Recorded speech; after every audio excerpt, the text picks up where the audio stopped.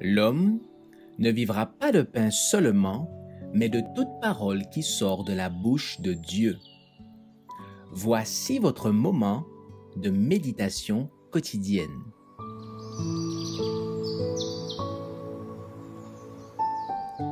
Maranatha. Le 11 novembre, la récompense des rachetés. Si l'œuvre bâtie par quelqu'un sur le fondement subsiste, il recevra sa récompense. 1 Corinthiens 3, verset 14. Lorsque les fidèles ouvriers se réuniront autour du trône de Dieu et de l'agneau, la récompense qu'ils recevront sera glorieuse.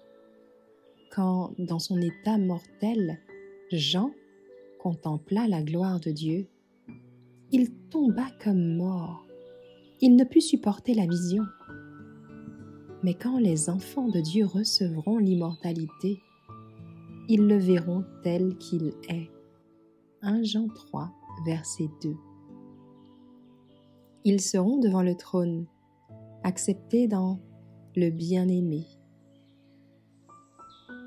Tous leurs péchés auront été effacés, toutes leurs transgressions expiées. Alors, ils pourront regarder sans voile la gloire du trône divin. Ils auront participé aux souffrances de Christ. Ils auront travaillé avec lui au plan du salut. Et ils participeront avec lui à la joie de voir des âmes sauvées dans le royaume de Dieu, pour louer Dieu durant toute éternité. En ce jour, les rachetés brilleront dans la gloire du Père et du Fils. Les anges, jouant de leur harpe d'or, accueilleront le roi et les trophées de sa victoire. Un chant de triomphe retentira, emplissant les lieux. Le Christ a vaincu. Il entre dans les cours célestes, accompagné de ses rachetés, témoins attestant que sa mission de souffrance et de sacrifice n'a pas été vaine. Il y a des demeures pour les pèlerins que nous sommes, des robes de justice, des couronnes de gloire et des palmes de victoire. Tout ce qui nous a troublés dans la volonté de Dieu, à l'égard du monde, deviendra clair, ainsi que les choses difficiles à comprendre. Les mystères de la grâce nous seront dévoilés Là où nos esprits bornés ne voyaient que confusion et promesses non réalisées, nous découvrirons une harmonie merveilleuse. Nous reconnaîtrons alors que c'est l'amour infini qui a ordonné les épreuves les plus pénibles de notre existence.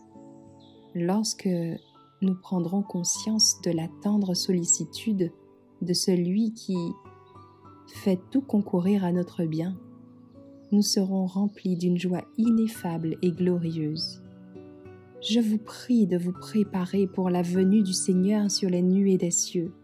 Préparez-vous pour le jugement, afin que lorsque le Seigneur reviendra pour être admiré en tous ceux qui auront cru, vous soyez parmi ceux qui iront à sa rencontre.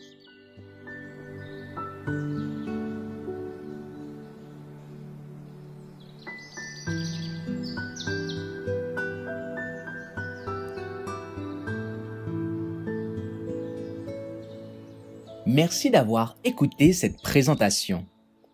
Assurez-vous de nous rejoindre demain pour votre moment de méditation quotidienne avec le reste.org.